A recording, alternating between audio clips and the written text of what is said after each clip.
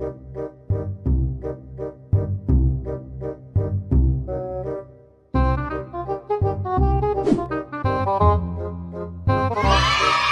আলাইকুম এভরিওয়ান আমি দেড় বছরের উপরে একটা ভিডিও করেছিলাম সিএনজির জ্বালানির উপরে ভিত্তি করে যে সিএনজির জ্বালানি খরচটা কীরকম পড়ে।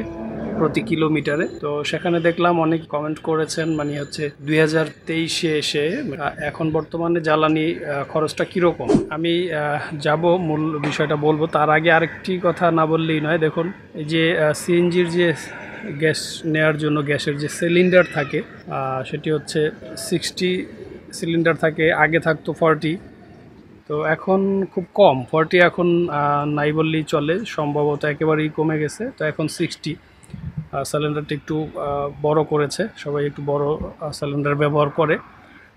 তো এই সিলিন্ডার নিয়ে একটু কথা আগে বলে নিচ্ছি।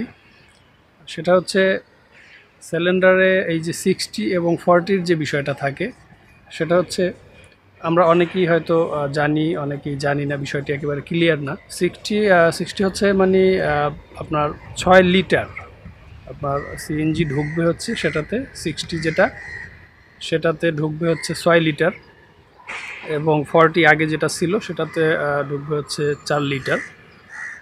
তো এই হচ্ছে গ্যাস সিলিন্ডারের বিষয়টা।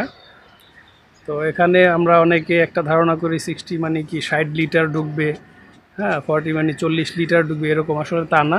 মূল গ্যাস ঢুকবে হচ্ছে চার লিটার, ফর্টি যেটা ছিল, এবং সিক্সটিতে ছয় লিটার।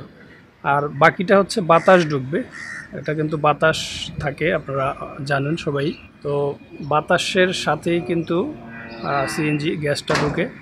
তো মূল আপনার হচ্ছে গ্যাস ঢুকবে সিক্সটিতে ছয় লিটার। এখন আসি মূল প্রসঙ্গে। এটা আসলে অনেকেরই জানার ইচ্ছে থাকে যারা সিএনজি চালাচ্ছেন অথবা এই পেশায় আসতে চাচ্ছেন অথবা এটা অনেকেরই জানার ইচ্ছে।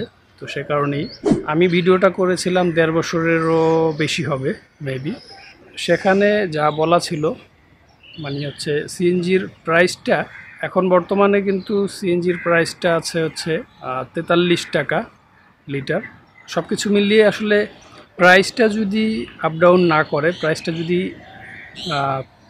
না বাড়ে অথবা না কমে, তাহলে কিন্তু আপনার খরচটা কমবেও না, বাড়বেও না। এই হচ্ছে বিষয়। তো তখনও প্রাইসটা যা ছিল, এখনও কিন্তু সিএনজি প্রাইসটা ওই আছে। আগের প্রাইজই আছে, অতএব দু হাজার তেইশ সালে এসেও এখন কিন্তু জ্বালানি খরচটা সেই আগের মতোই আছে। এই হচ্ছে বিষয়। তো আমি আগের এখন দু হাজার তেইশ সালে আপনার হচ্ছে প্রতি কিলোমিটার সিএনজি অটোরিকশা চলতে, সেখানে জ্বালানি খরচ হবে আপনার দেড় টাকা থেকে দুই টাকা। এটা মানে আসলে একেবারে একজ্যাক্ট বলা যাবে না, কারণ হচ্ছে রাস্তাঘাটে যানজটের বিষয় থাকে, জ্যামে পড়ে থাকলে সেক্ষেত্রে কিন্তু ইঞ্জিনটা স্টার্ট থাকলে সেক্ষেত্রে কিন্তু জ্বালানি খরচটা বেশি হবে। সেক্ষেত্রে সব কিছু মিলিয়ে আপনার হচ্ছে এক টাকা পঞ্চাশ পয়সা থেকে ধরে দুই টাকা। এর মধ্যেই থাকবে জ্বালানি খরচটা প্রতি কিলোমিটারে। তো বিষয়টা আশা করি বুঝতে পেরেছেন সবাই।